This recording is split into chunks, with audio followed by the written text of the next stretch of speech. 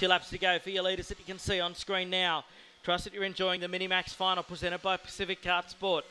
Thanks to Dale and the crew for their support of this weekend.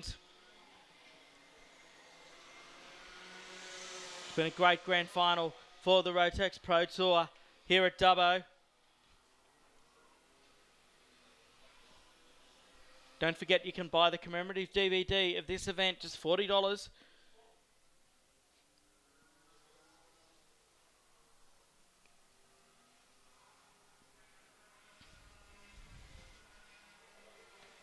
Down through the right hander they go. Westbury leading the way from Wharton.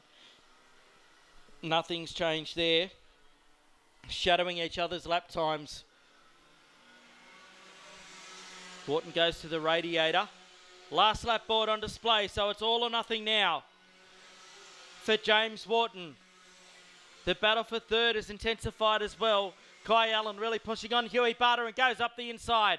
So we've got a new third place man, that being Kai Allen, as you can see them coming past your screen now. So Kai Allen waits to the Parts last minute to go through to third place, work their way up the top of the hill.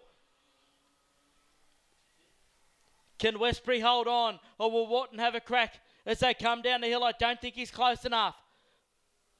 I think Westbury's got this one in his bag at this point in time.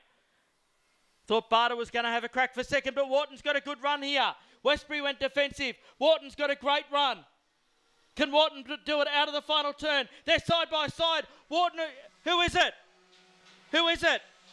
It's Wharton by six one thousandths of a second. Point zero zero six of a second gives the win to James Wharton.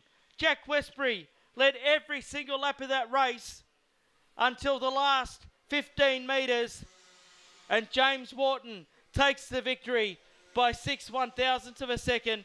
Congratulations to the Shimmick Racing crew down there. Shane and the team, no doubt, will be overjoyed by the victory of such a minor margin. You feel for Jack Westbury. What a drive it was from him.